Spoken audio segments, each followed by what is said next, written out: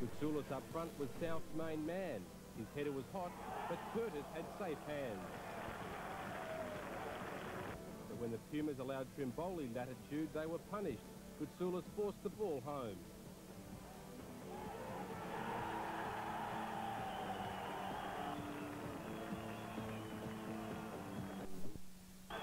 Stubbins should have sealed the issue, but hurried his shot. And then Tricarico took the ball from Muscat. Keeper Anastasiadis made a vital save to secure full points for South Melbourne.